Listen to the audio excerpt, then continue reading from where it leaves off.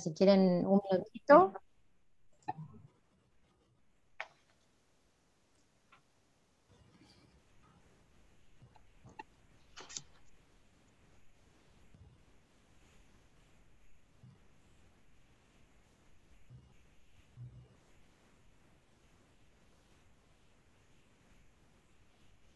están terminando de sumar, eh, así que mientras terminan de ingresar, vamos, eh, si les parece, iniciando.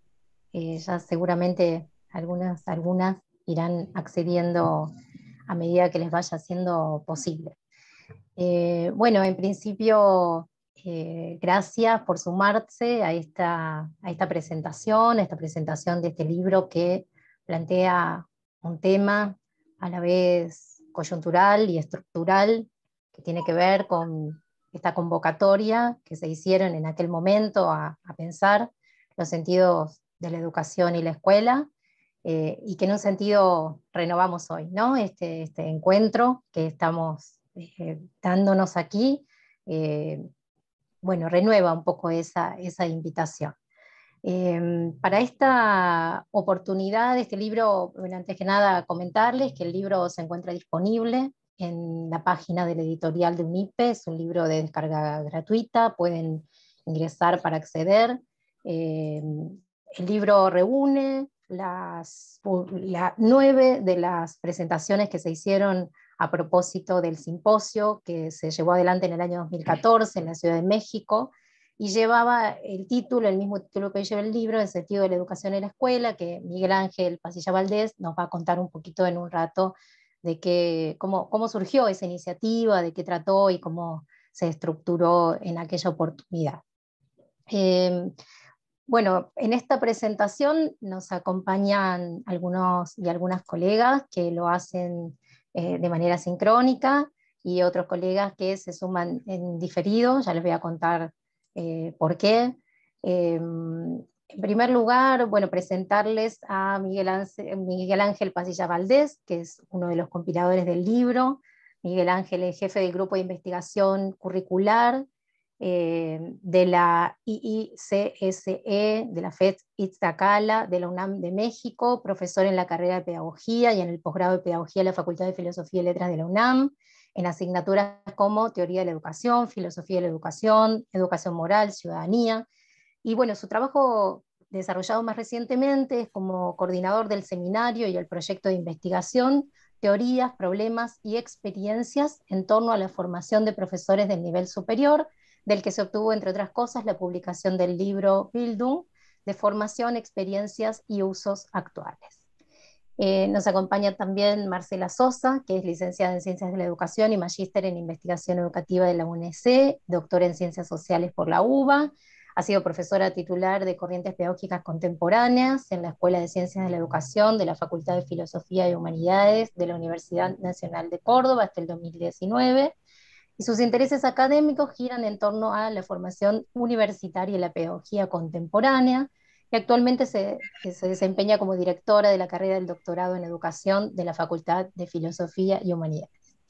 Contamos también con la presencia de Daniel Brailovsky, doctor en educación, maestro de nivel inicial y de música, profesor e investigador de UNIPE y de Flaxo, y formador de docentes en el Instituto Sara Eccleston. Autor de Pedagogía entre paréntesis, de Pedagogía del nivel inicial, Mirar el mundo desde el jardín, entre otras eh, varias publicaciones, y como les decía, también nos acompaña en diferido Inés Dussel, que no pudo estar hoy presente, pero que ha grabado especialmente una presentación para acompañar esta presentación del libro. Em, la modalidad que proponemos eh, tiene la siguiente dinámica. nuestros presentadores van a ir tomando la palabra en esta primera instancia y esperamos que después puedan sumarse con sus propias participaciones, sus propias intervenciones al diálogo que ellos y ellas van a iniciar. Así que, bueno, sin, otra cosa, eh, eh, iniciamos entonces la presentación con Miguel Ángel que va a tomar la palabra eh, en esta ocasión. Muchas gracias, Gabriela.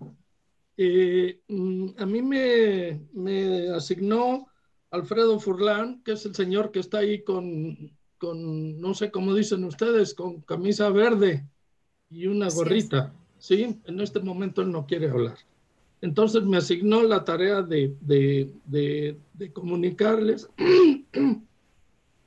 un saludo que dice así. Eh, quiero agradecer a la UNIPE la publicación del libro El sentido de la educación y la escuela. Y muy especialmente a Inés Dussel, quien gestionó con una paciencia infinita y con generosidad dicha edición. agradezco también a Marcela Sosa y a Daniel Brailovsky la lectura y los comentarios. Y bueno, a Miguel Pasillas, por supuesto, quien da la cara por los coordinadores del libro. Agradecer otra vez a Inés Dussel por su doble participación como autora y comentarista y a la Escuela de Ciencias de la Educación de la Facultad de Filosofía y Humanidades de la Universidad Nacional de Córdoba por su colaboración en la, en la organización de este en la organización de este evento.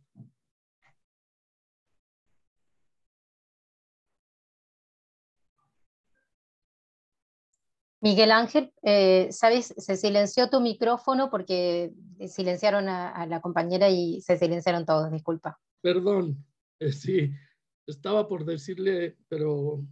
actividades bueno. pero no sé si es visto que dicen, por ejemplo,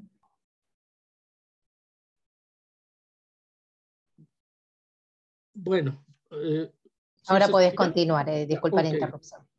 Dice, agradecer otra vez a Inés Dussel por su doble participación como autora y comentarista y a la Escuela de Ciencias de la Educación de la Facultad de Filosofía y Humanidades de la Universidad Nacional de Córdoba por su colaboración en la organización de este evento. El libro reúne los textos presentados en un simposio que organizamos los miembros del proyecto de investigación curricular, ahora es Grupo de Investigación Curricular de la FESIS Tacala, invitando a unos destacados autores, entre los que se encuentra Eduardo Weiss, ya fallecido, a cuya memoria va dirigida esta publicación. También queremos aclarar que días previos al simposio fueron desaparecidos forzosamente los 43 estudiantes de la Escuela Normal Raúl Isidro Burgos de Ayotzinapa, estado de Guerrero, en, México. A la memoria de ellos también dedicamos esta publicación. Hasta aquí el saludo de Alfredo Furlan.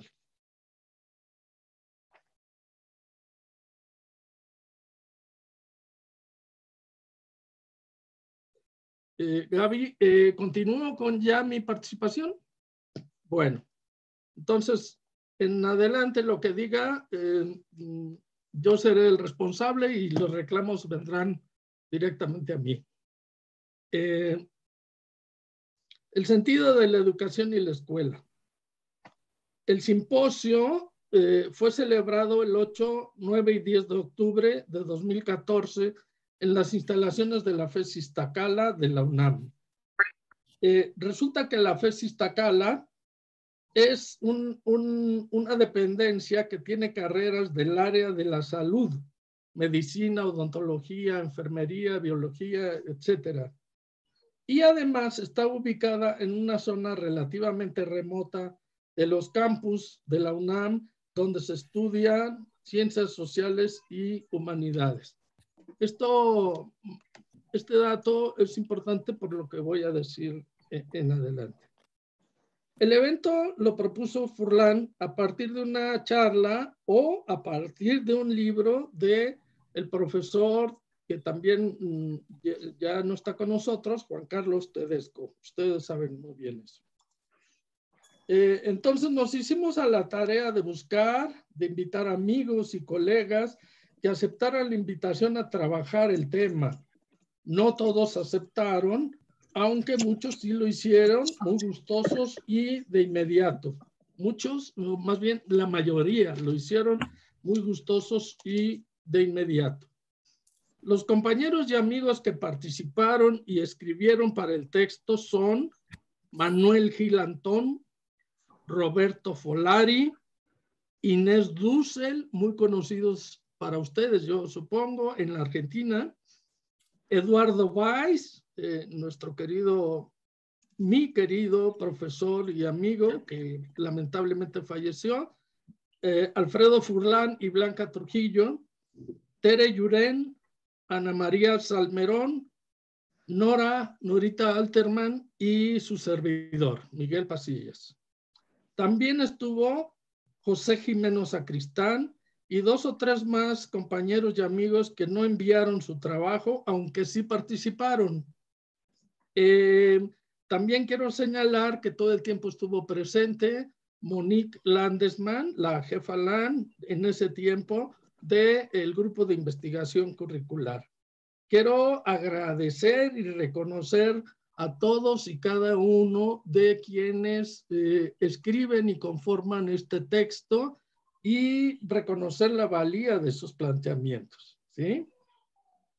Hablando de agradecimientos, no quiero dejar de pasar el, el, momento, pues, de agradecer a Inés Dussel por, por, su doble o triple función en la presentación de este, de este texto como promotora, como, digamos, impulsora de, de, de, de la edición del libro y además como eh, participante, es decir, ella es coautora y además es presentadora. Entonces, como ven, tiene una participación muy intensa. Entonces, quiero agradecer mucho su participación y presencia.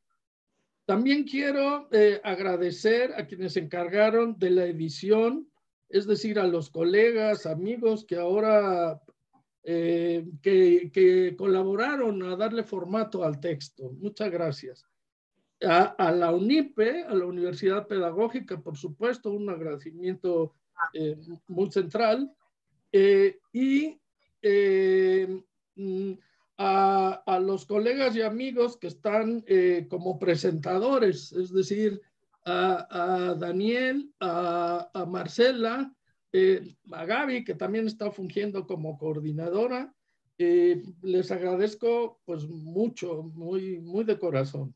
Y a todos ustedes, a quienes están eh, asistiendo, no, no, no me alcanza el tiempo para saludarlos a todos, pero va un abrazo muy, muy, muy cálido y muy personal a todos los compañeros y amigos y personas que no conozco que vinieron a enterarse de en qué consiste este, este libro.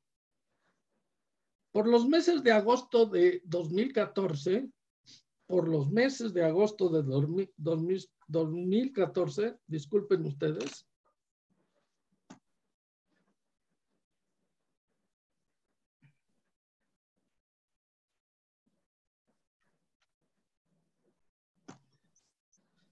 publicamos la convocatoria al evento y eh, eh, entiéndase, estando en una dependencia del área de la salud y además hasta el otro lado de la, de la ciudad, o bueno, depende si uno vive al norte, pues de este lado de la ciudad. Eh, para nuestra sorpresa, la respuesta fue inmediata y crecientemente masiva. La gente hablando para inscribirse, para tener oportunidad de participar.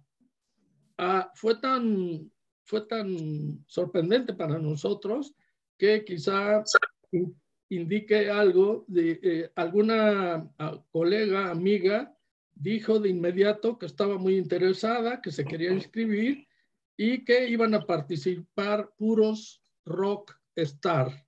Entonces que no quería dejar de estar en el evento. De ser la rockstar.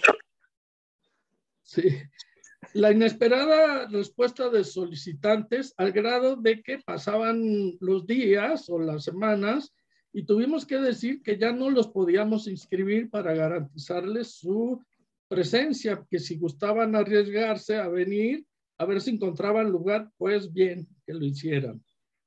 Y llegó el día, el 8 de octubre, eh, y para nuestra sorpresa e impacto de muchos que eh, quiero comentar de pasada, muchos no creen, como son del área de la salud, del área de las ciencias duras, no creen en la relevancia, la importancia, el poder de convocatoria del pequeño grupito que estamos ahí, que somos el, el, grupo de investigación curricular. Para sorpresa de todos ellos, el, el, auditorio, que es de 530 y tantas, 540 quizá butacas, estaba repleto de bote en bote, como dicen por ahí. Además, se abrieron sedes remotas en dos estados eh, eh, la República Mexicana tiene, está compuesta por estados, eh, en, Veracruz y en Guerrero, ¿sí? Y también se hicieron sedes remotas en la UPN Ajusco, de, que está en la Ciudad de México. Estábamos todos admirados, sorprendidos por la respuesta, ¿sí?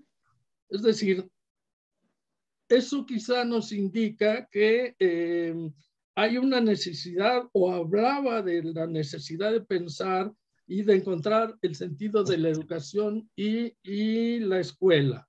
Fue eh, muy sorpresiva, muy impactante la respuesta. No sabemos si efectivamente por pensar, por reflexionar sobre el sentido de la educación y la escuela, o por los participantes, que ya les dije, alguien comentaba que era puro rockstar, entre ellos estaba José Jiménez Sacristán. Lo menciono a él porque, bueno, pues sabemos que entre los rockstar él es uno de ellos, ¿sí? Eh, sin, sin demérito de todos los demás compañeros cuyas participaciones y aportaciones son y fueron muy valiosas, muy inteligentes. Eh, en septiembre de ese año, del 14, había ocurrido el crimen de 43 estudiantes de la normal rural de Ayotzinapa, estudiantes de, de pedagogía o de magisterio, es decir, estudiantes, colegas, coleguitas de nosotros, ¿sí? El descontento ante el gobierno crecía y crecía más, venía como una, una ola que crecía. Eh, ah, cuando una anécdota es que cuando Jimeno Sacristán iba a iniciar a exponer su, su, ponencia, eh, no sé si el segundo o el tercer día, nos invitó a ponernos de pie y a un minuto de silencio, cosa que fue absoluta. Es decir, el día que estaba exponiendo Jimeno, ustedes recordarán, por ejemplo, Norita, Alfredo, los digo, lo digo a ellos porque ellos estaban, Monique, eh, se hizo un silencio absoluto que se cortaba con el dedo. Y al poco rato empezó a haber sollozos, es decir, eh, personas llorando por el crimen que habían cometido con nuestros colegas. El sentido de la educación se expresaba, ¿sí? Se expresaba por la amenaza, por el atentado, a, estos compañeros, a estos chavos, ¿sí? Y por una pérdida irreparable, ¿sí? Después el, gobierno de aquel entonces hizo, hizo milagros para deshacer todo tipo de, eh, de huellas del crimen y desaparecer eh, eh, cualquier indicio que pudiera conducirlos a ellos, al ejército, en fin, al responsable. Por esos tiempos, el gobierno de México llegó a niveles inusitados de corrupción y de eliminación de instituciones y bienes de carácter público.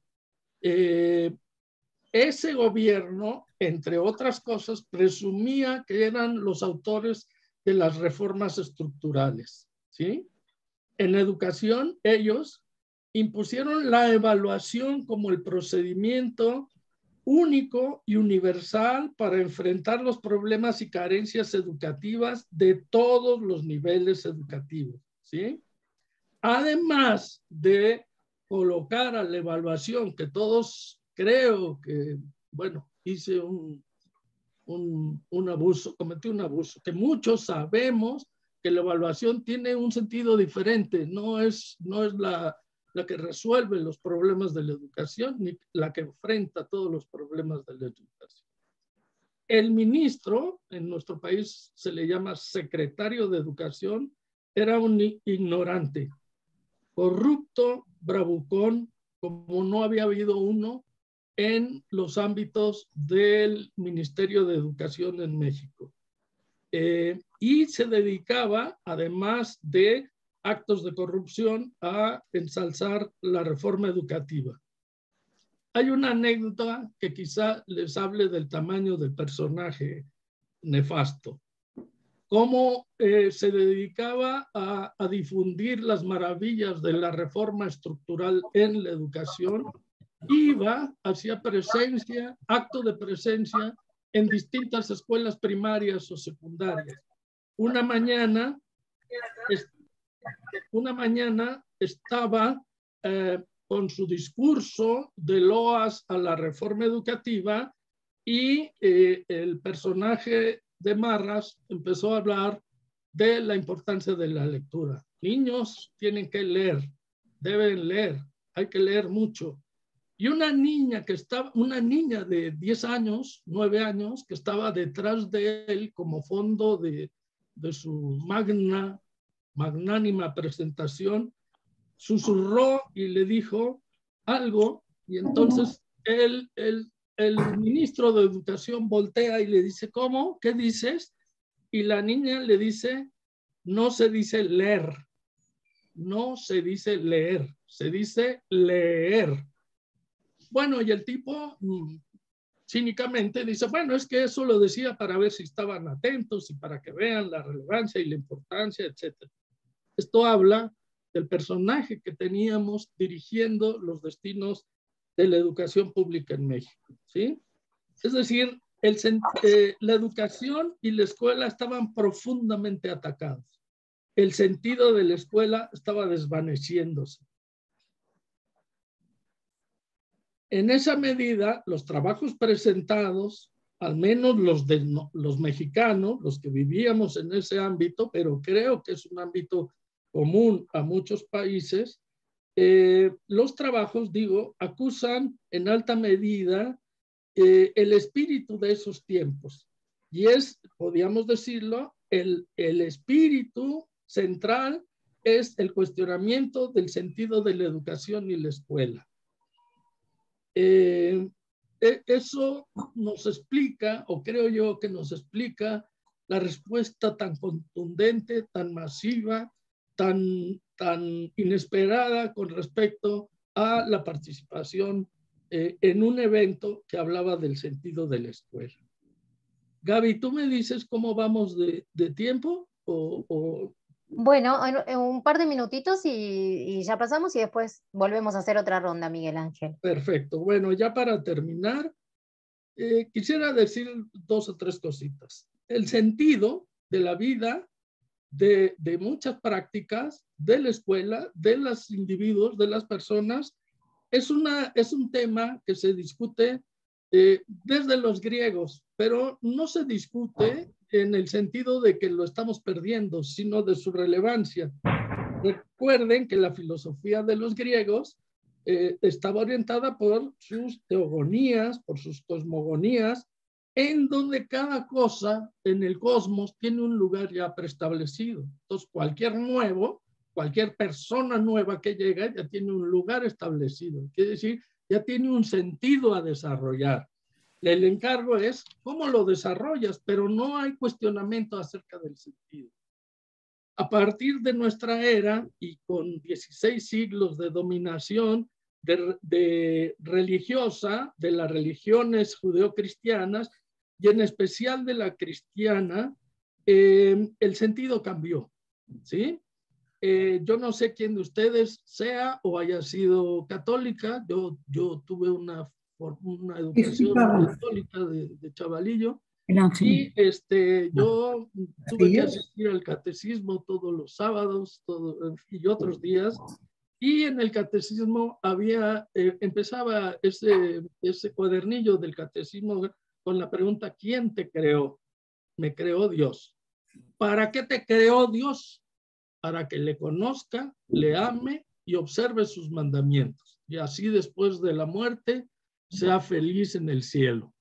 Como ustedes pueden ver, eh, me aprendí bien eso y conozco el sentido que Dios nos impuso, más bien la religión católica cristiana. El, sentido ya estaba eh, definido, ya estaba definido, yo ya tenía claro y todas las personas ya sabíamos que teníamos que hacer para realizar ese sentido.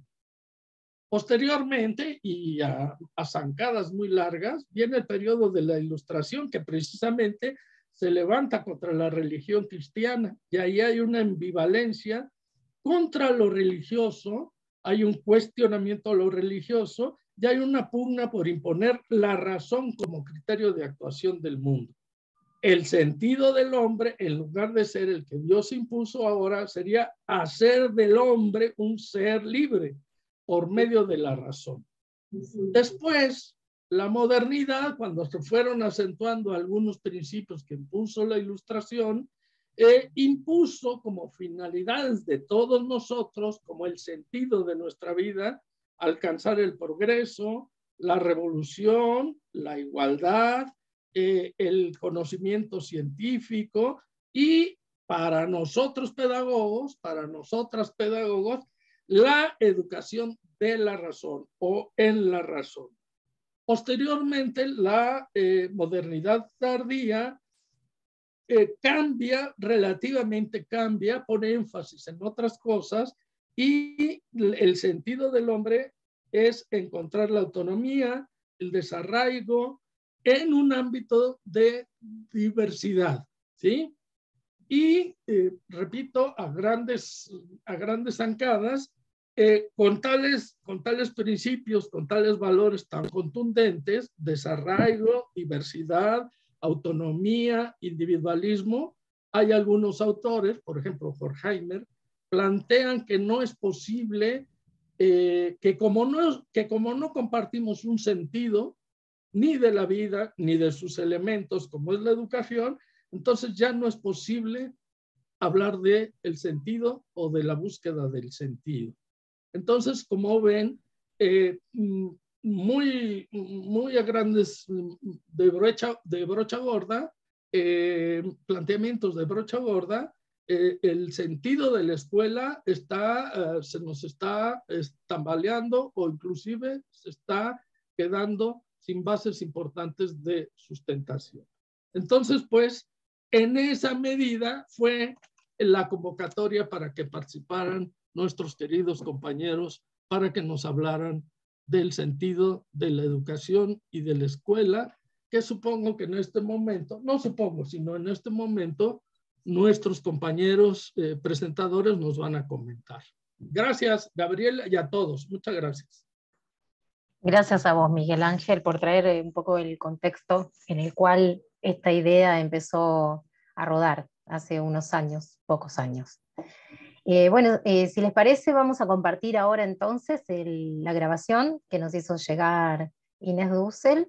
Eh, María Teresa y Ángel, cualquier cosa, si, voy, a, voy a compartir, ustedes me indican si lo estoy haciendo bien, porque sé que hay algo, compartir sonido, tengo que poner, ¿verdad? Sí, ahí está.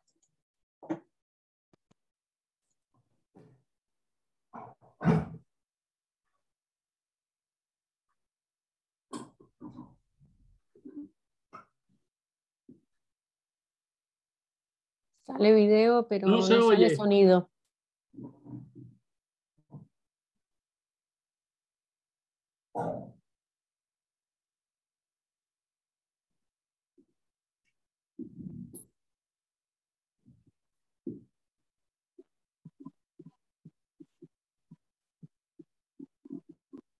Sigue sin sonido, Gabriela.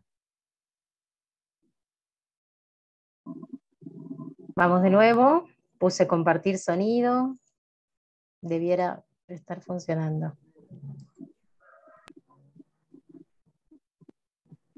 A ver ahora.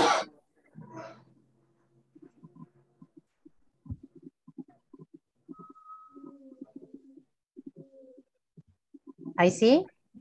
No. No.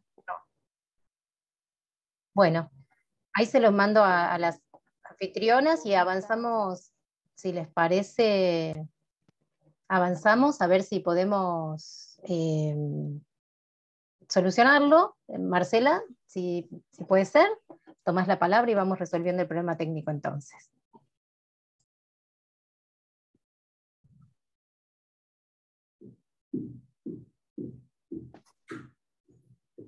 ¿Me escuchan? Sí. Sí, sí, sí. Bueno. Em, bueno, en primer lugar quisiera agradecer este, la invitación. Es, es, un gusto compartir esta presentación con especialistas muy destacados, así como la publicación de un nuevo libro de la serie editorial de UNIPE. Asimismo, celebro este puente entre lugares y tiempos, entre instituciones y autores, y también la presencia de Alfredo, cuyas preguntas desde hace muchos años orientan, incitan y siempre nos provocan. Em, abordaré estos comentarios muy brevemente y en tres puntos.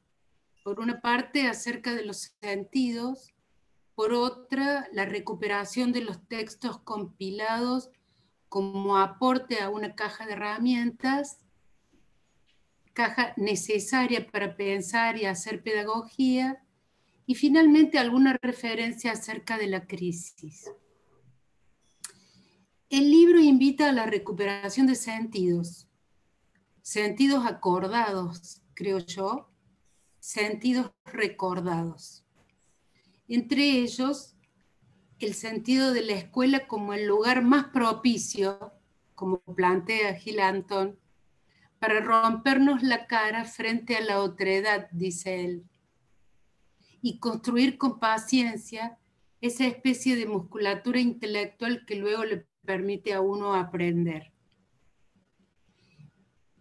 Y también un, un sentido asignado irrenunciable, creo, la escuela como institución pública que se propone una acción educativa destinada a todos.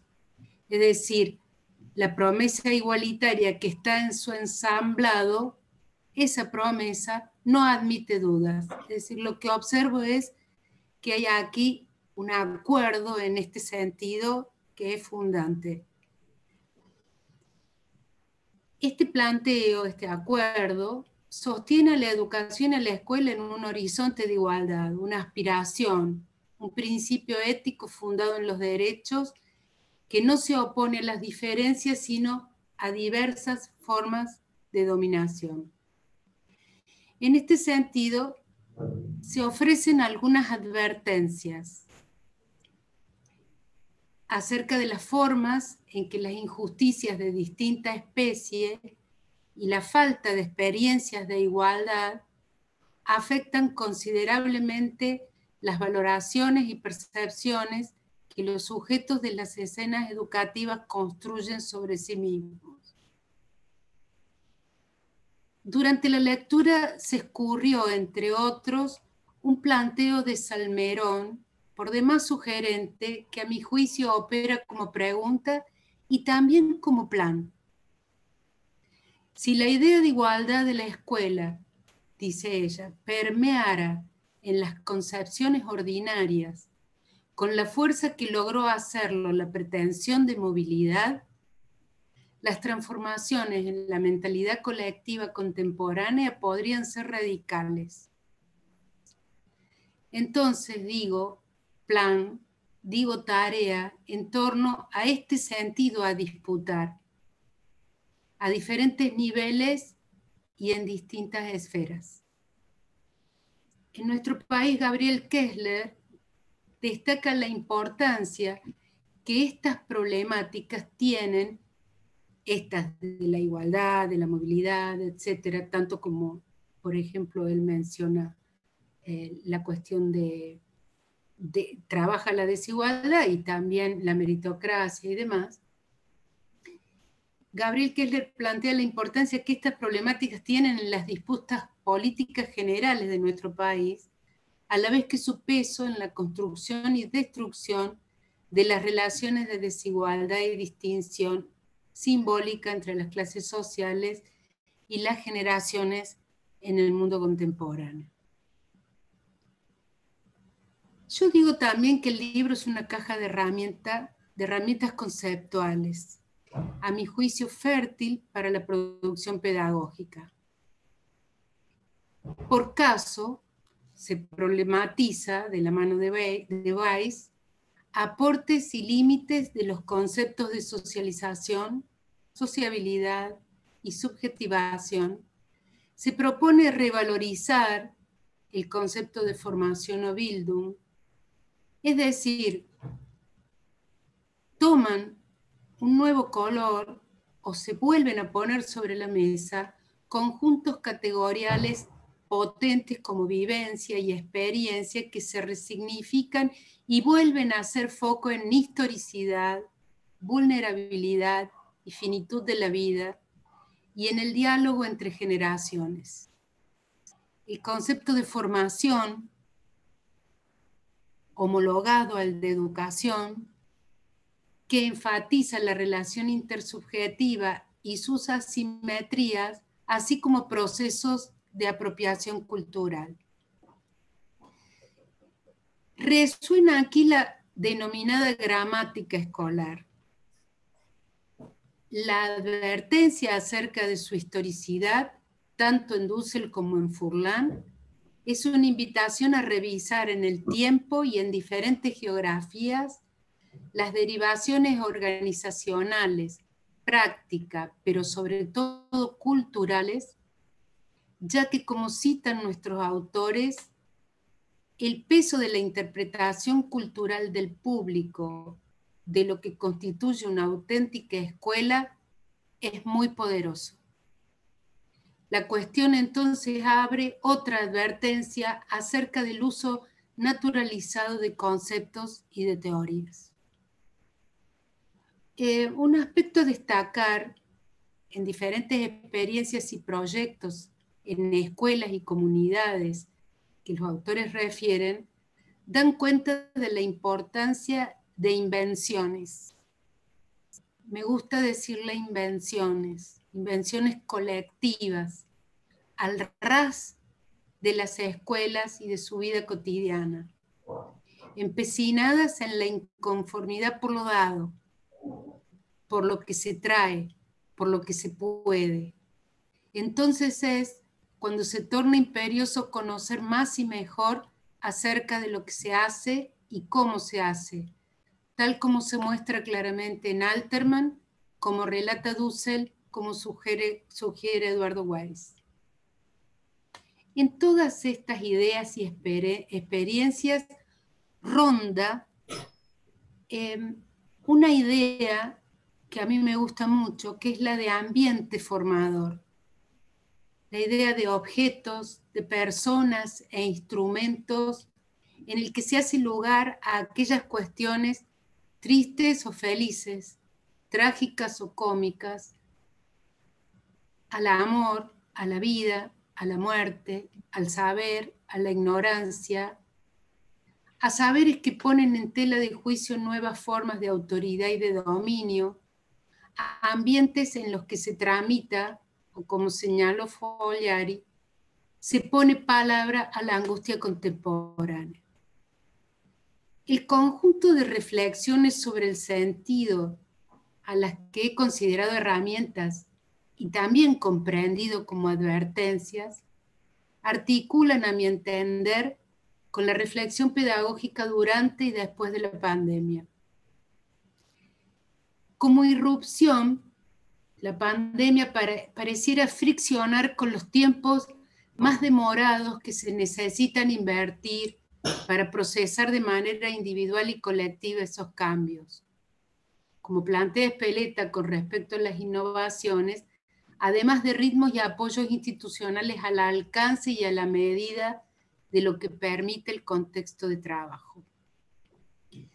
Pero también este convulsionado tiempo educativo y social permite observar y analizar esta opacidad hasta donde sea posible. Lo que se hace y cómo se hace en escenas educativas más o menos híbridas, más o menos remotas, más o menos presenciales, más o menos desiguales, más o menos democráticas. Creo yo, y para terminar diría, que en estos avatares se reescriben sentidos y se bosquejan nuevos. Eso nomás. Si quieren, Gabriela. Bueno, Marcela, muchas gracias. Muchas gracias. Ya vamos a ir volviendo después eh, sobre las palabras que van quedando sobre la mesa. Eh, vamos a hacer ahora, María Teresa o Ángela van a hacer un intento de ver si podemos, si ellas sí pueden compartir el video de Inés. Bueno.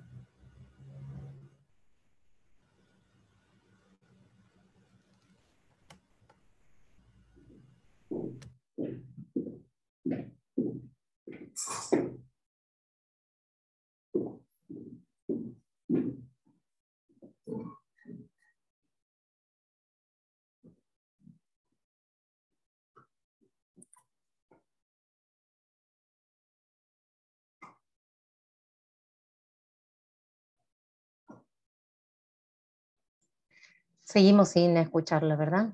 ¿Ustedes también?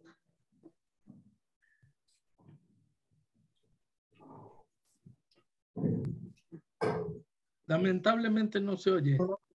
¿No se escucha? No, no se escucha.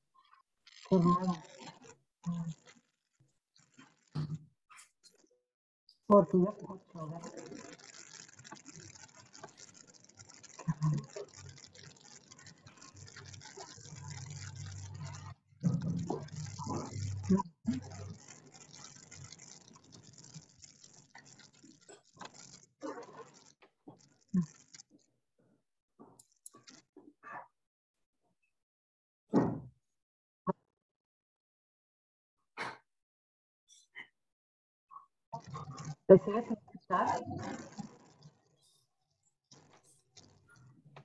No, no lo escuchamos. Igual no está corriendo, lo vemos como, como trabado, ¿verdad? Eh, no sé si... Eh,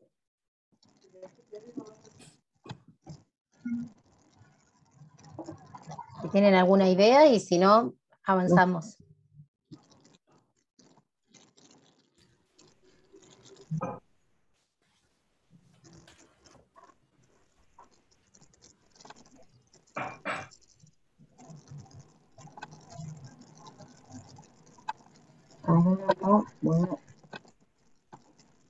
Lo estamos haciendo del modo en el que habitualmente lo hacemos y se, escucha, no sabemos por qué hoy, ¿no? Como suele pasar, pero...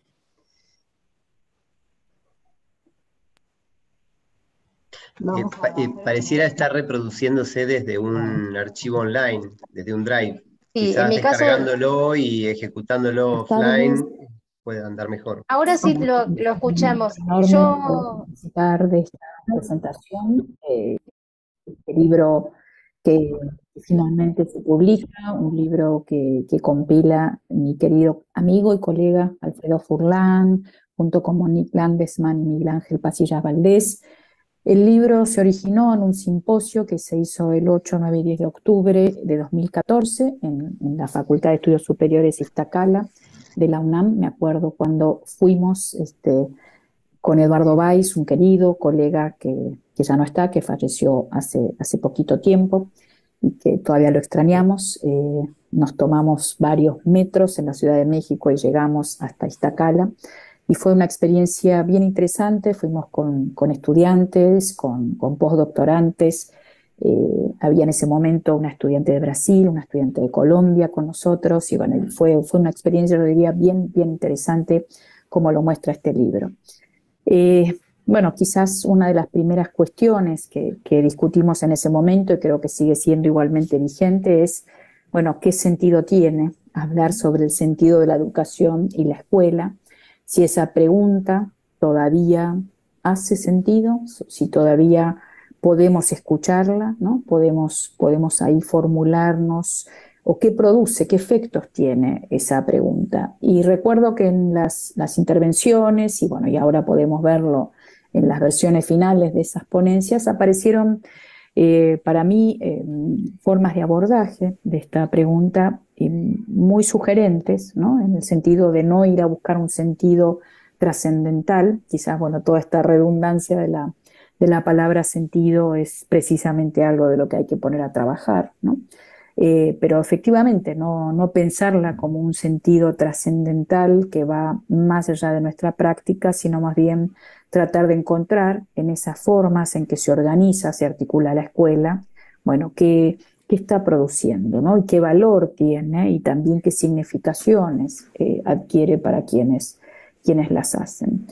Yo quisiera referirme un poco a lo que en ese momento pensé y también a lo que, a lo que por ahí podemos pensar hoy, ¿no? En relación a la experiencia de la pandemia. Yo ahí contaba eh, una experiencia que vivimos en, en, la crisis del 2001-2002 en Argentina, cuando también la escuela parecía que no tenía sentido, ¿no? en un contexto también muy límite como el que se vivió en la pandemia, de una gran crisis económica, de una gran dificultad de poder pasar más allá de lo inmediato y, aparecía, sin embargo, eh, ese lugar muy valorado de la escuela, particularmente en los sectores que estaban eh, siendo más afectados por esa crisis socioeconómica. ¿no? Y esa experiencia a mí también me hizo pensar incluso en, lo, inactual. ¿no? Eh, cuento ahí la historia de una escuela que en ese momento dirigía Luis Cabeda en el tercer cordón de la matanza y en el cual Luis, con para mí muy, eh, mucha claridad y, mucha creatividad pedagógica, mucha, mucha audacia pedagógica, se puso a hacer actividades los sábados, eh, entre otros, bueno, un taller de haiku, ¿no? de, de poesía japonesa, y bueno, y este aquí que cada vez venían más chicos, ¿no? Y esto funcionaba bien, y yo digo, bueno, ahí lo comparo un poco con, con, lo que cuenta Jacques Rancière en La Noche de los Proletarios, eh, cuando él dice, bueno, también, ¿no? Los obreros precisamente lo que quieren es un tiempo libre, un tiempo que no sea ocupado por eh, lo útil, ¿no? lo inmediato o la reproducción de la fuerza de trabajo, sino precisamente sentarse a leer poesía o sentarse a estudiar otras cosas, ¿no? Y disfrutar de la, de la cultura y sentirse iguales en ese sentido a otros. Y, ahí hay una idea de inactualidad y de actualidad de la escuela que me parece que es, que es bien interesante en los dos casos, ¿no? Eh, yo ahí formulo algunas preguntas en el ensayo, bueno, ¿qué sentido entonces para la escuela en una época en que la propia pregunta por el sentido parece estar desacompasada de las demandas actuales, ¿no? Después de la crítica posmoderna, que también analiza, la analiza muy bien Roberto Fogliari, bueno, cómo pensamos el sentido de la escuela sin eh, tratar de buscar algún fundamento trascendental, ¿no? más allá del tiempo, de nuestro tiempo, sino pensarlo, bueno, eso, ¿no? Como em, em, que hubo, esas, hubo críticas que fueron muy importantes y que hay que eh, reconocer su, su justeza, podemos decir, o su valor, ¿no? Y al mismo tiempo me parece a mí que hay que, por ejemplo, la colonización de los saberes o la escuela como una institución colonial, y sin embargo me parece a mí como que defendemos de la escuela o qué nos, nos importa de la escuela, ¿no? Y cómo pensar en actualidad o en ese anacronismo de la escuela. Pienso que esto en la pandemia se volvió todavía más claro, ¿no? Y bueno, yo analizo eh, en este, en este texto que, que fue escrito originalmente en 2014, 2015, eh, la cuestión de pensar un poco el sentido de la escuela en tiempos digitales. Pero yo actualizaría algunas de estas ideas en relación a la pandemia y me parece a mí que lo que quizás podemos reafirmar de manera más clara es la escuela como ese lugar, ¿no? y, bueno, retomando ahí a Marjolaine Simmons, bueno, pensar un poco en esa suspensión de un tiempo y un espacio para producir un tipo de trabajo con los saberes y para producir, yo diría, una preocupación por, lo común, ¿no? por, por aquello que Hannah Arendt llama el mundo, por aquello que va más allá de lo que estamos acá. Y en ese sentido no es trascendental, sino es eso que nos involucra o que nos concierne, que nos compete, pero que no es solamente este aquí y ahora, sino es también el inscribirnos en una historia más larga, en una conversación más amplia, dice ella, ¿no? Bueno, en esto de entender que hay algo, que hay un mundo que va más allá de este encuentro particular que tenemos hoy, ¿no? Y la escuela es ese lugar que también permite hacer esa inscripción en el mundo, esa inscripción en, una, en un diálogo o en una conversación, a veces esa conversación no siempre es armoniosa, por supuesto, intergeneracional. Y pensaría ahí que el sentido de la escuela en la pandemia este, se hizo también más claro, ¿no? Se hizo más claro como lugar otro, yo esto lo dije eh, de distintas maneras en, lo que venimos conversando de lo que pasó en la pandemia, ¿no? esta, esta escuela que necesita afirmarse como un lugar diferente de la casa, de lo doméstico, que necesita ser un espacio público, no siempre lo es, pero me parece a mí que hay que insistir en eso, y que es ahí donde encuentra un sentido diferente y donde produce efectos diferentes. ¿no? Yo creo que el libro permite eh, entrarle a este problema desde distintas vías, ¿no? Me parece a mí que, bueno, que hay trabajos ahí desde la, cuestión de la capacitación profesional hasta discusiones más filosóficas, a, la investigación, por ejemplo, de Nora Alterman.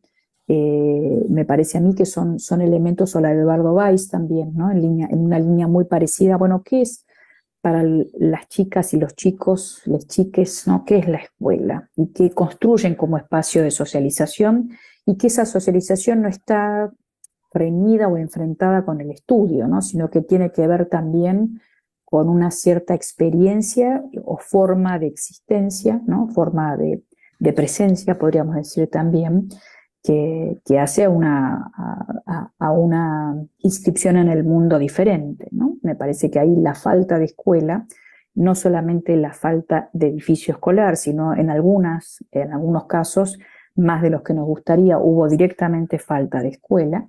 Me parece a mí que la falta de escuela mostró en la pandemia la importancia de, de que haya escuela ¿no? y de que haya una educación que permita eh, salir de la casa, eh, eh, metafórica y literalmente, salir de la casa, inscribirse en otras conversaciones, acercarse al mundo, preguntarse sobre el mundo, estudiar el mundo, encontrar una voz propia. Me parece que para cada generación eso toma sus formas particulares. Eso es parte del sentido de la escuela. Bueno, dejo la palabra a, otras y otros eh, colegas que están participando.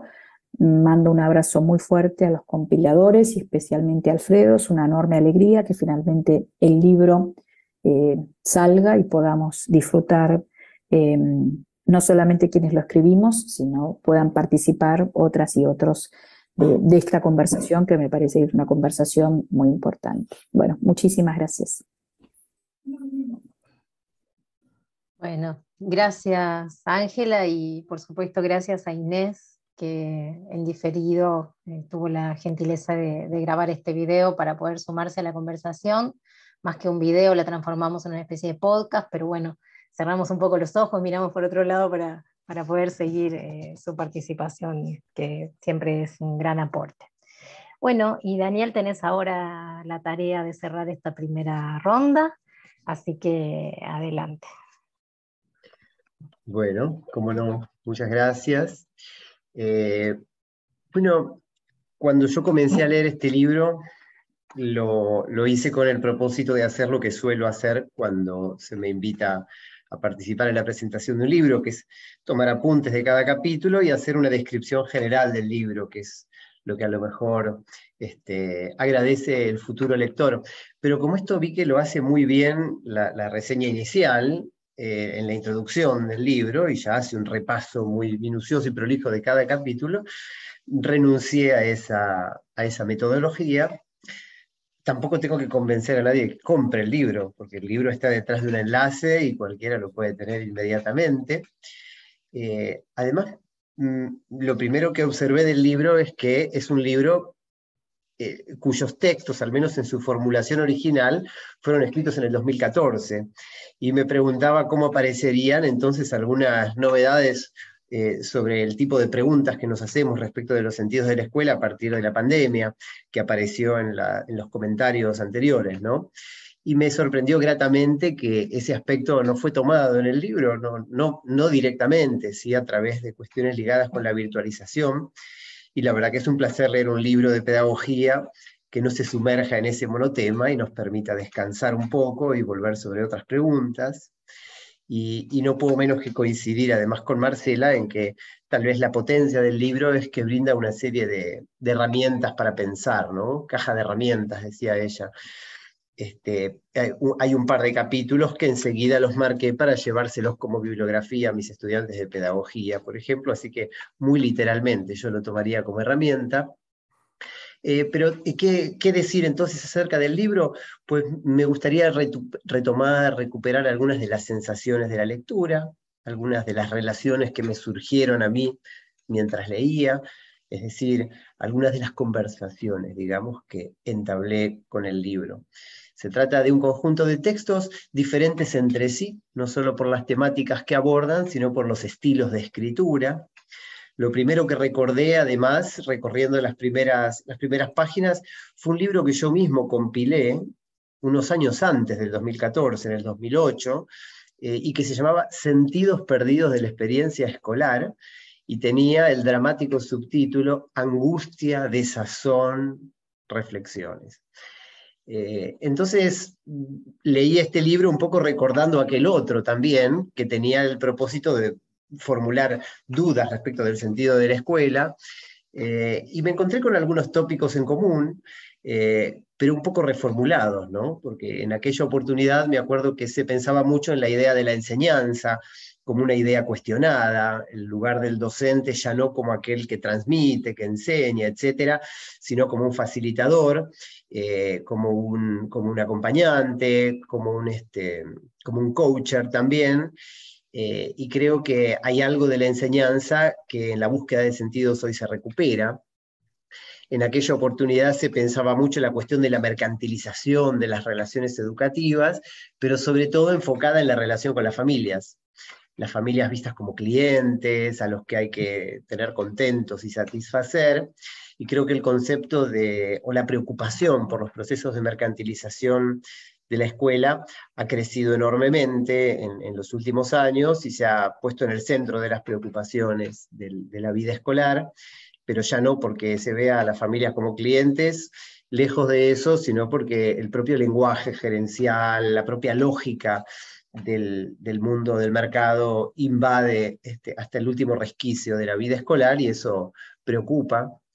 Eh, otro, otro tópico del, cuestionamiento del sentido de la escolaridad tiene que ver con sus rituales, con el patriotismo, con los signos de la identidad nacional, digamos, y esto algo aparece también en este libro, aunque también aparecen algunas discusiones sobre lo, global y sobre cuestiones de, la internacionalización de ciertos discursos. En fin, que algunos de los tópicos que tienen que ver con pensar el sentido de la escuela me los encontré como en un reencuentro con una escritura anterior eh, y me surgieron algunas de esas relaciones. Y de esta, de esta comparación también me dio por pensar que el ángulo desde el cual se interroga el sentido de la escuela eh, ha ido cambiando, que ya no se piensa por lo pronto desde la angustia o la desazón, como yo lo pensaba en ese momento, sino que predomina una recuperación amorosa de la escuela. Recién lo decía Inés, ¿no es cierto? Y además hay un, libro que en este momento todos estamos leyendo o hemos estado leyendo en los últimos años, que es el libro de, de Simons y Magellan, Defensa de la Escuela, y que la mayoría de los textos citan, aparece en varios momentos del libro, se recupera el trabajo de estos autores belgas. Eh, y creo que eso da cuenta un poco de, del habernos empapado de una mirada amorosa hacia la escuela, que ya no se engolosina tanto en esas críticas fuertes, tal vez necesarias, pero que se actualizan, me parece, desde un, nuevo ángulo.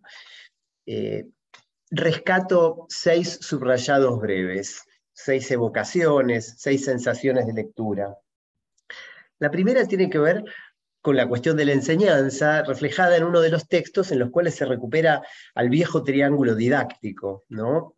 Aquella conceptualización visual que todos estudiamos alguna vez en el profesorado y se discuten algunas cuestiones alrededor de la relación de enseñanza, una relación desigual, asimétrica, de la cual se, problematiza el hecho lineal de verla como una relación autoritaria, desde una perspectiva muy Foucaultiana, y sí recuperarla como una relación de autoridad, pero que busca la formación del sujeto, su emancipación, dice este, Eduardo Weiss, como persona capaz y responsable. ¿no? Eh, pensaba en, las muchas veces en las que he enseñado en mis clases de didáctica este triángulo y lo, puesto, lo he puesto a dialogar con otras formas y modelos para representar la enseñanza, y las muchas veces en las que le he pedido a mis estudiantes que dibujen ellos, que grafiquen, que imaginen una forma de representar la enseñanza eh, que pueda sintetizar elementos importantes de esa relación.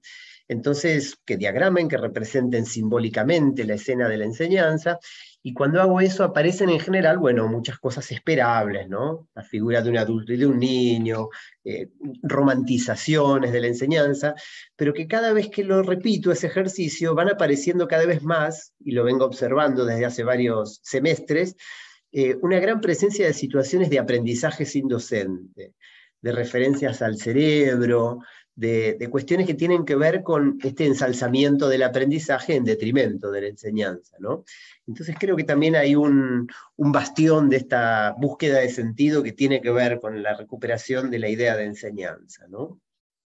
Una segunda sensación de lectura, un segundo subrayado, eh, me, trae un poco la idea de, en qué sentido eh, la escuela le salva la vida a, los chicos, les salva la vida a las personas eh, cuando amplía sus horizontes culturales, cuando les abre otras oportunidades, otras ventajas, les abre otros tiempos, ¿no?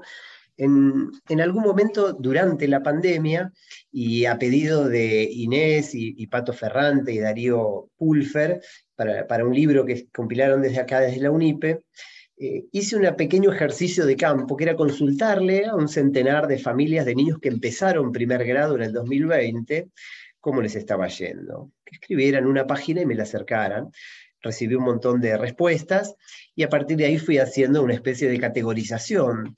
Y, y en una de esas respuestas, que las volqué en el capítulo que me pidieron que escribiera para ese libro, eh, una madre decía que efectivamente ya sentía que sus hijos tenían que ir a la escuela porque la escuela eh, era imprescindible y les salvaba la vida a sus hijos y a todos los chicos. Y me preguntaba en qué sentido la escuela les salva la vida, ¿no? Y se me ocurrieron y vi reflejadas en el libro algunas direcciones en ese sentido, porque la escuela habilita el acceso de las personas a cierto tiempo, a cierto espacio, a ciertas cosas muy concretas y materiales, ¿no? Como dice Jorge La Rosa en ese, en ese material tan lindo que él llama abecedario pedagógico, seguramente si no ha pasado por sus manos lo recomiendo, está colgado ahí en YouTube.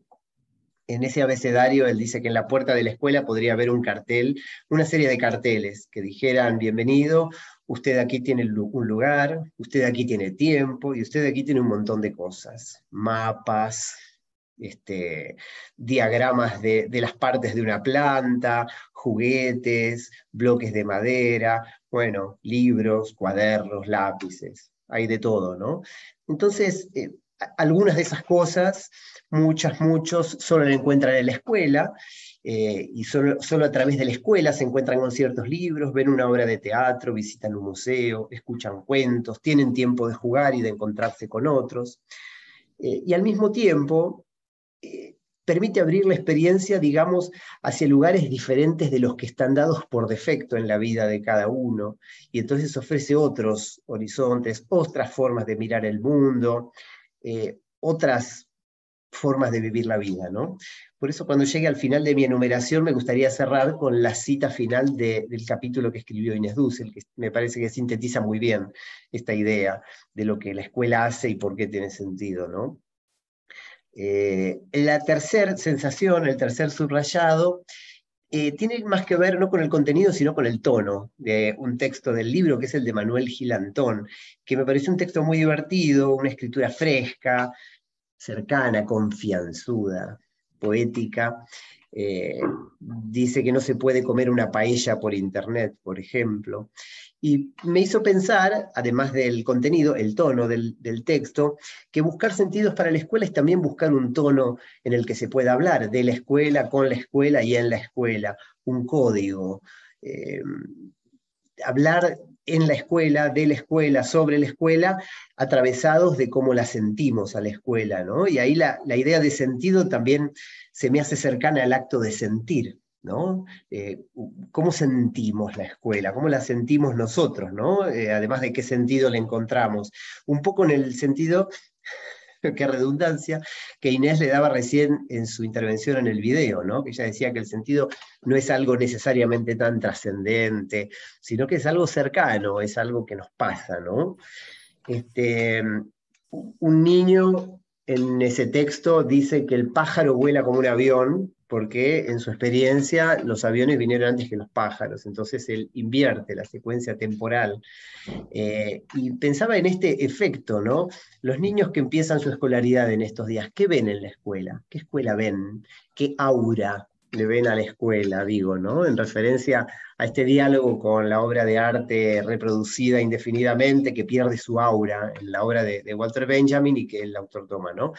Eh, y bueno, si hay algún lugar donde las cosas se reproducen indefinidamente es la escuela, ¿no? Eh, en relación a esto también esta idea de reproducción y de, reproducción en el sentido de que todos leemos el mismo libro a veces, todos usamos, hacemos ejercicios parecidos en los cuadernos, está esta, anécdota este, habitual del, ministro francés que decía a esta hora todos los niños están haciendo, están izando la bandera, están entrando a la clase de matemática, ¿no? Eh, pero al mismo tiempo cada vez se habla menos, aunque se habla, y en este libro también se habla, desde, desde el ángulo de la reproducción, ¿no? desde el ángulo burdiano de la reproducción, del reproductivismo burdiano. ¿no? Quizás porque hemos visto a través de otras lecturas y a través de otras discusiones, que sin la escuela todo aquello que Bourdieu y Passerón denunciaban a fines de los 60 sería mucho peor, eh, y que la escuela puede ser que reproduzca las desigualdades sociales, pero sin escuela esas desigualdades serían, este, la regla.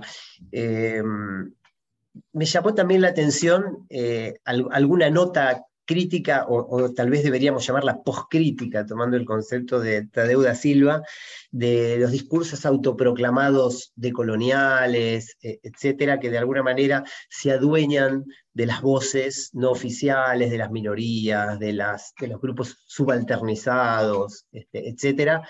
Eh, y hay también una crítica interesante ¿no? a esa pretensión de, la, de cierta pedagogía de apropiarse, de adueñarse de las voces de los oprimidos, eh, y que también forma parte, me parece, de, darle más vueltas de tuerca a algunas discusiones en, términos de justicia educativa, en términos de igualdad educativa. Eh, un, cuarto subrayado, ya me estoy yendo por las ramas, tengo, eh, me avisan si me paso, pero ya voy terminando. que esta búsqueda de sentido, digamos, incluye el recupero de lo valioso de la escuela y que hay cosas que la escuela hace y hay cosas que la escuela pasan que, como dicen alguna página del texto, no se las puede despachar así nomás, como cosas del pasado, como cosas tradicionales, como cosas que quedaron atrás y son obsoletas, haciendo un elogio de la innovación, de lo nuevo, de, la necesidad de actualizarse, sino que hay cosas de la escuela que son profundamente valiosas y bueno, a mí evidentemente me resonó esa idea porque me, convoca la discusión acerca de esta muletilla de otorgar falsos semblantes a la escuela a través de la dicotomía entre lo nuevo y lo tradicional. ¿no? En algún lugar del libro, además, se dice que buscar el sentido es reafirmar la vida, ¿no? Y me, trajo a la memoria una conversación que eh, Jean Machelin y Jorge La Rosa tienen en otro libro, creo que era en El Profesor Artesano o en Esperando no se sabe qué, sobre el oficio de profesor, esos libros de la trilogía que hizo La Rosa eh, desde novelas educativas. En esta conversación que habían tenido en Portugal, eh, se preguntaban, paseando por la ciudad, eh, decían, si, si, acá hay un palacio de justicia, ¿no? si acá hay jueces y, tribunales de justicia, eh, ¿qué justifica que exista este edificio con la institucionalidad que representa en esta ciudad en Lisboa? Bueno, que la gente cree de una manera no unánime, de una manera compleja y disputada, pero cree en la justicia, cree que existe algo llamado justicia. Y si pasan por un templo, por una iglesia, la existencia de ese edificio, con toda su institucionalidad detrás, se funda en una creencia igualmente compartida e igualmente disputada en Dios, en una divinidad, en una, en, una vida más allá de la vida y cosas por el estilo. Y si uno encuentra la legislatura, también se, se basa en una creencia disputada y compartida en la ley, en cierto orden, en cierto consenso. Ahora, si uno pasa delante de una escuela y se pregunta qué justifica la existencia de este edificio con toda su institucionalidad detrás, cuáles son las creencias compartidas y disputadas que justifican la existencia de una escuela. Y ahí no hay una unanimidad, no es, tan, no es tan sencillo ni tan lineal, tal vez porque somos pedagogos y no abogados, juristas o, párrocos, ¿no es cierto? Y si estuviéramos en otros lugares veríamos las otras complejidades también. Pero me da la impresión de que hay más posiciones posibles, más discusiones acerca de cómo se responde a esa pregunta. Eh, y, bueno, ellos lo planteaban muy lindo con esta metáfora de, de mirar edificios por la ciudad, ¿no? Eh, la, quinta nota de lectura y penúltima es muy breve, es simplemente eh, hacer referencia al modo bonito y profundo en el que se discute, sobre todo en el texto de Inés, la cuestión de lo digital. Eh, ahí tome nota de algunos autores, ¿no? A uno le pasa, o a mí me pasa, creo que a todos, cuando leemos un libro como este, que se mencionan a otros autores en las notas bibliográficas, y entonces esto es para ir siguiendo la pista. Entonces, bueno, ya ahí a un autor que no conocía, Geert Lodvink, que habla sobre las redes y, la, y esta, esta mudanza del link al like, ¿no? Esta idea de pensar las redes además como una, como una, este, como una forma de simbolizar las relaciones sociales y las relaciones escolares no tan unánime como parece, ¿no? que la idea de escuela en red no necesariamente simboliza lo que se cree que simboliza. Del mismo modo, agrego que el pensamiento computacional, la robótica, la informática, como grandes bastiones o pancartas que se supone que modernizan la educación en todos los niveles, pero ya desde el jardín maternal, tampoco necesariamente le aportan mucho más a las otras adjetivaciones del pensamiento, que antes de computacional lo nombramos como crítico, como complejo, como creativo, etc. ¿no? Por último, creo que hay un interesante entrecruzamiento de debates didácticos y políticos en el libro, ¿no? Eh, más políticos que didácticos, pero por ejemplo en el capítulo de Miguel Ángel, él habla, recupera un debate didáctico sobre el método global o el método analítico a la enseñanza del español. A lo mejor podemos retomar esto ahora en la segunda ronda si tienen ganas. Eh, a mí me llevó a un debate muy instalado en Argentina en los últimos meses, a partir de algunas críticas muy resonantes y mediáticas, eh, así en medios de comunicación masivos, al, constructivismo, a la psicogénesis como enfoques para la alfabetización. Eh, hay quienes identifican a la psicogénesis, a los trabajos de Emilia Ferreiro y, las consecuencias pedagógicas que tuvieron en las escuelas como la causa de los malos resultados en las pruebas internacionales de lectura y escritura que, cada tanto se publican. ¿no? Eh, una acusación eh, que, ha sido desmentida, discutida, etcétera, ¿no? Pero que llevó a un. Bueno, ha habido acusaciones más burdas también, eh, como aquella de que es el lenguaje inclusivo que utilizan las maestras cuando dicen hola chiques, lo que explica los malos resultados en, lengua en las pruebas PISA, ¿no? Pero de alguna manera los que critican a la psicogénesis, la critican porque la psicogénesis presupone que esas niñas y niños en sus casas, en sus familias, tienen una vida rica en interacciones que les permiten tener mucho contacto con la lengua escrita y poder elaborar hipótesis propias sobre la lengua. Y entonces dicen, bueno, a los pobres les va mejor con los métodos fonéticos de asociación. Eh, entonces, lo que en realidad se está discutiendo es si hay que pensar un método para ricos y un método para pobres, y en, estas discusiones en las que se entrecruzan, digamos, situaciones sociales, económicas, etcétera, muy dramáticas, y discusiones metodológicas que se tocan de costado, de arriba y de abajo con los problemas sociales, entonces ahí es donde los sentidos arden, donde los sentidos se desdibujan también, ¿no? Y hay que pensar en otros términos. Bueno, tal como había prometido, termino leyendo tres renglones finales del capítulo de, Inés Dúzar de este libro, que dice lo siguiente. Si hay que proponer un sentido para la escuela, propongo este ampliar los marcos de experiencia y los lenguajes disponibles a las nuevas generaciones para generar otras posibilidades de lo humano y hacerlo para todos, sosteniendo la promesa igualitaria que estuvo en la base. Bueno, hasta aquí. Bueno, muchas gracias, muchas gracias Daniel. Eh, creo que, esta primera ronda, como la, venimos llamando todos, eh, retoma, ¿no? Retoma, ahí te doy la palabra, Miguel Ángel, pero un segundito para, organizar cómo seguimos. Digo, retoma la, pregunta del libro, y, creo que la generosidad de quienes han tomado la palabra eh, tiene que ver con eso, con sumarse a esa ronda, con recuperar algunos de los sentidos que se fueron planteando y también las preguntas propias, los sentidos propios, con volver a traer unos años después esa pregunta al presente, a las propias experiencias, a las propias preocupaciones. Yo creo que algunas de las cosas que fui tomando nota, en las que me fui deteniendo, no sé si son las mismas que, que pudieron detectar ustedes, tienen que ver sobre todo con, con, palabras o con adjetivaciones que siguen planteando la pregunta en términos muy abiertos, ¿no? Eh, formular dudas, sentidos de disputar sentidos, la pregunta, la interrogación, la conversación, Ahí creo que son algunos de, de los elementos que estuvieron planteados y, esa puede ser quizá la invitación a cómo podemos seguir con la próxima ronda. ¿no? Ahí hay un, espacio para que puedan también tomar la palabra, tanto quienes ya lo han hecho como quienes están participando de la presentación de este libro. Eh, anímense a, levantar sus manos o pueden hacerlo por el, por el chat y vamos haciendo intervenciones breves para poder escucharnos entre todos, pero tenemos todavía un ratito para, para seguir sumando sentidos y capas a esta conversación. Miguel Ángel había levantado su mano y Nora después. No, eh, yo quería, yo puse la reacción de aplauso para la intervención de Daniel. Es preferible la participación de quienes no lo han hecho. Muchas gracias.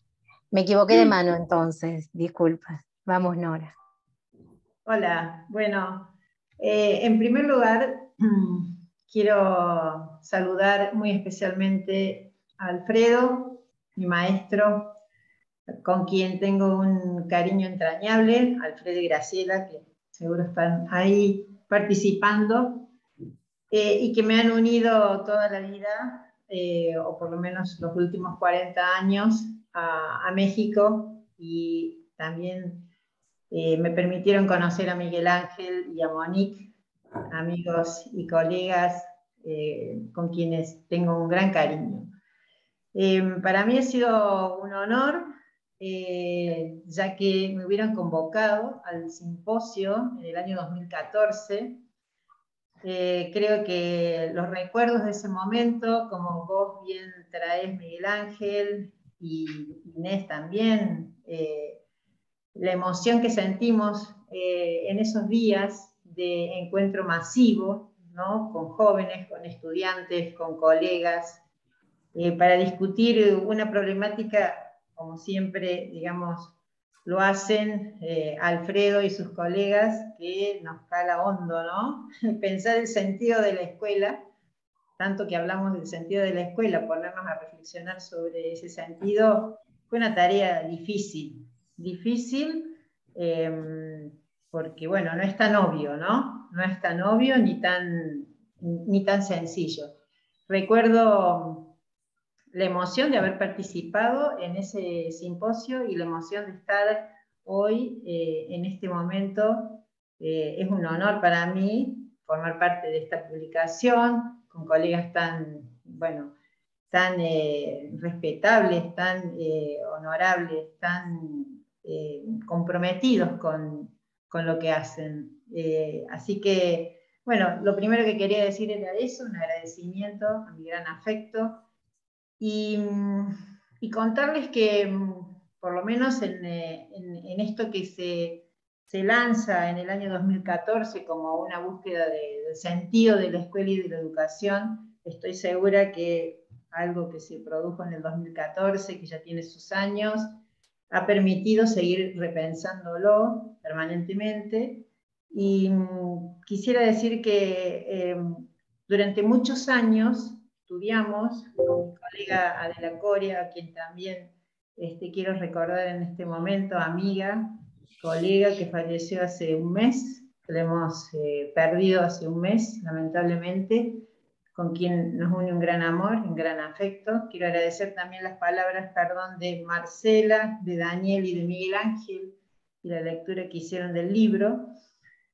Eh, y en ese momento, cuando empezamos a trabajar con Adela, eh, uno de los temas que, y con Marcela también, en mucho tiempo estuvimos compartiendo eh, equipos de investigación, además de amistad, cariño, colegas y entrañables amigas, Em, que de alguna manera el sentido de la, de la, escuela y las condiciones en las que se despliega la, la, escolarización han sido temas que nos han atravesado desde, desde hace muchísimos años.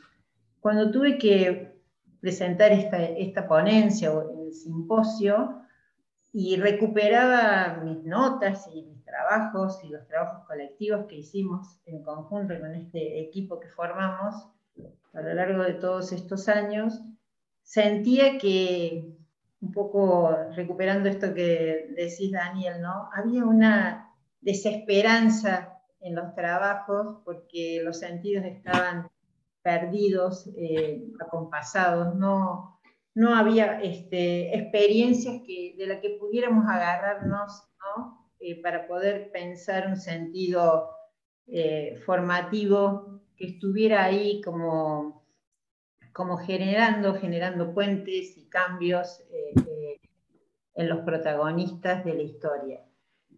Y de repente me obsesioné con, con encontrar alguna experiencia en la que los sentidos no fuesen negativos, por decirlo así, sino encontré esta comunidad eh, vibrante que, pensaba que valía la pena estar en la escuela, trabajar para los niños, eh, comprometerse con ideas, con, ideales, con utopías.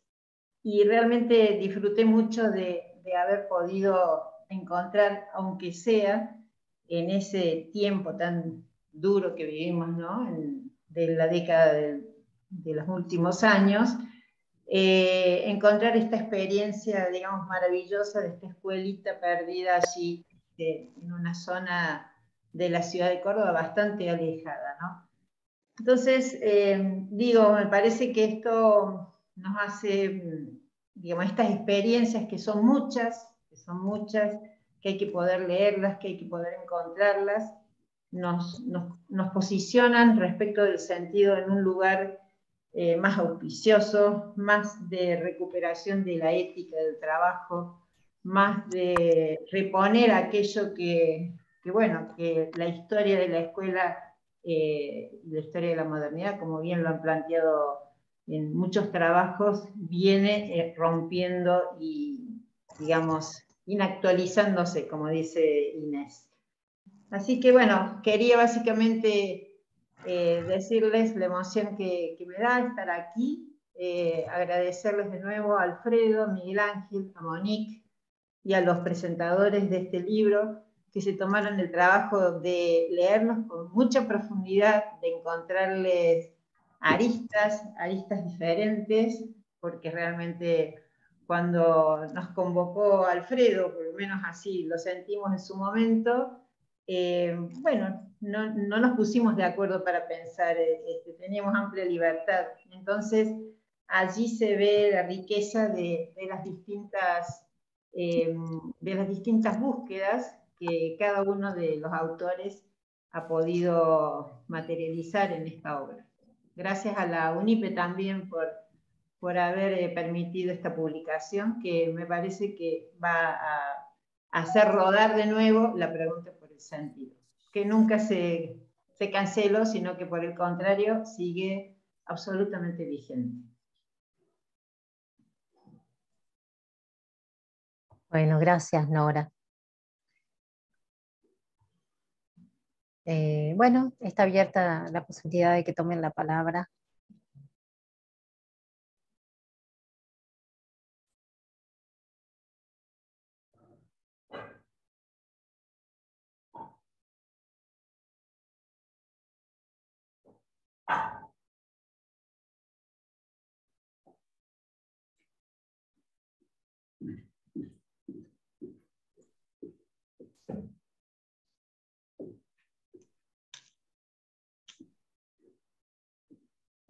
No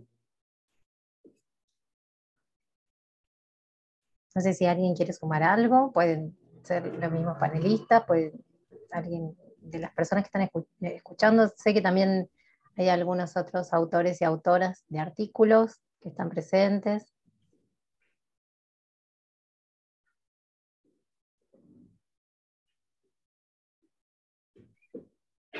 Está pidiendo la palabra Miguel Ángel Pasillas, Gabriela.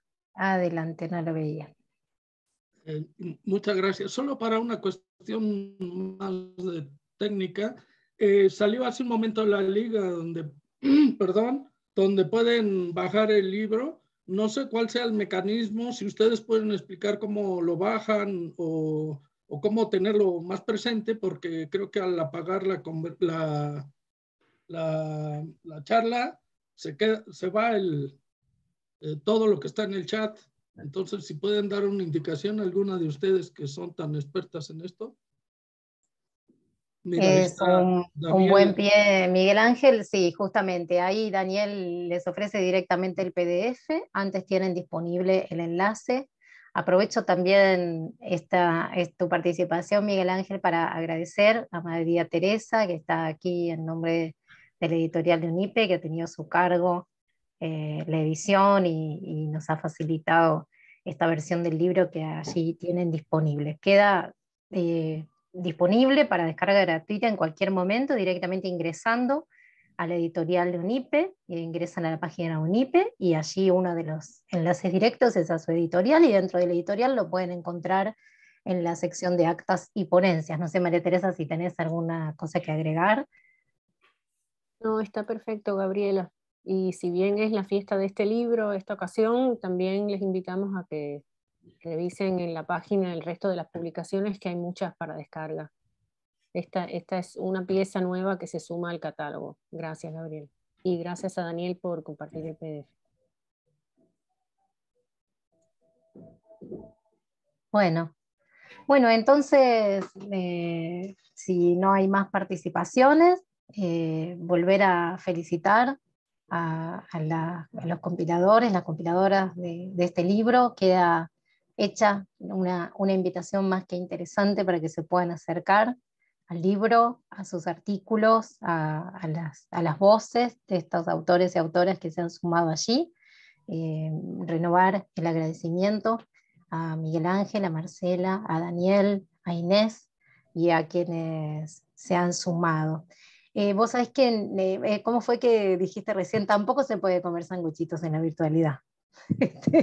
Ese sería el otro problema, pero... pero ni paella, ni, vino, ni sanguchito. Ahí, vino, la, cita de recién. es uno de los grandes problemas que tenemos en, esta, en este modo de encontrarnos, pero a la vez, bueno, creo que vamos a poner la, la parte que sí, estamos acá presentes colegas de diferentes lugares de Latinoamérica conversando un tema que nos, que nos interesa en común. Creo que esa es una, una gran posibilidad. Así que bueno, nuevamente gracias a los organizadores de la semana UNIPE Virtual.